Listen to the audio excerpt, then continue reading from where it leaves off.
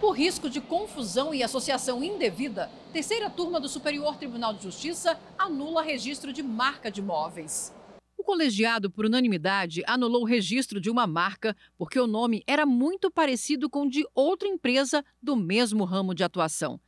Para os ministros, a grande semelhança gráfica e fonética entre os nomes poderia induzir os consumidores a erro ou a associação indevida das marcas. No processo julgado, a empresa gaúcha do ramo moveleiro, denominada Delínea, entrou com ação de nulidade de registro de marca e de abstenção de uso contra outra empresa que comercializa na rede Leroy Merlin móveis da marca exclusiva Delínea.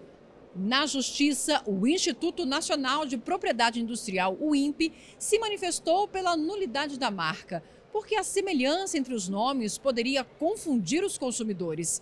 Em primeiro grau, a Justiça entendeu haver risco de confusão e de associação indevida e foi declarada a nulidade do registro da marca Delínea e que a empresa deixasse de usar a marca sob pena de pagamento de multa diária de mil reais. Em segunda instância, o Tribunal Regional Federal da Segunda Região reformou a sentença com base na teoria da distância, segundo a qual uma nova marca dentro do mesmo ramo não precisa ser mais diferente do que as marcas já existentes são entre si.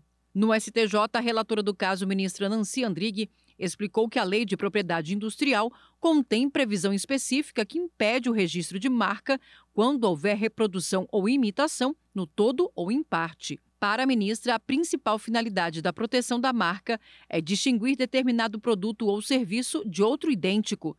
No caso, as duas marcas, Delínea e Delínea, possuem alto grau de semelhança gráfica e fonética e considerando que atuam no mesmo ramo de atividades, a coexistência de ambas pode gerar potencial confusão no público consumidor. O uso da marca Delínea implica violação dos direitos da recorrente, concluiu a ministra ao dar provimento ao recurso especial.